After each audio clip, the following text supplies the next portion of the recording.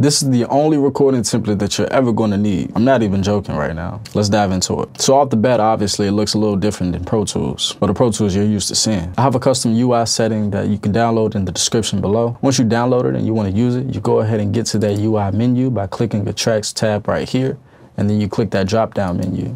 Now, if you started off with something that looks a little bit like this, or this, or this, you would just click the drop down menu, import settings, and click that file that you downloaded. And then you get something like this. Your eyes will thank you. You're welcome. So first things first, we have our master fader. I do not add plugins to this track personally. I wait for my mix bus. Master faders to me are just for visual referencing of the meters, of course. Use your ears. The second track we have is our mix bus. So this is where I actually add my processing. If I want to add a bus compressor or some type of saturation, this is where I would add those plugins. The next three tracks are my vocal buses. Pretty simple. All my main vocals are out here, all my double vocals are out here, and all my ad-lib vocals are out here. The following three tracks are composed of our production elements. So the first one is a folder where if you import stems, you can organize them all in this folder. The second track is a auxiliary track, also known as a bus track for our production. So when you import those stems, make sure you route the output of the stems to this production track so you can easily manipulate volume, tone, or any type of processing from one track. The next track you're probably used to seeing is our beat track. This is where you will import the two track beat. So the MP3 file that you ripped from YouTube,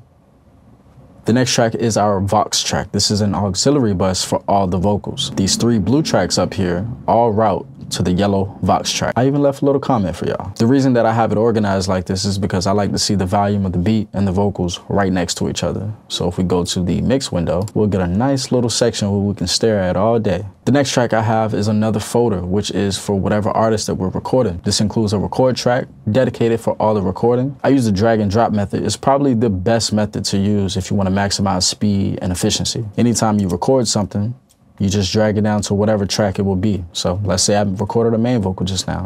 Stop that, drag that on down to a main track. If it was a vocal that should be an ad lib, drag it down to the ad lib track.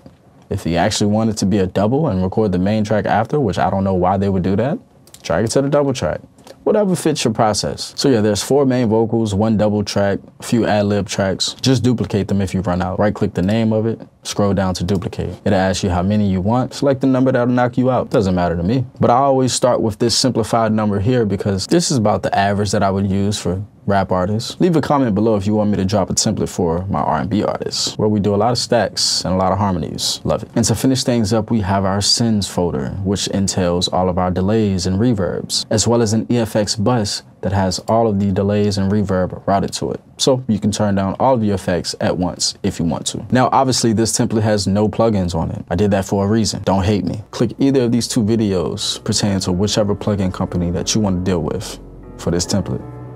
To the next one, guys. Subscribe, like, and comment. See you later.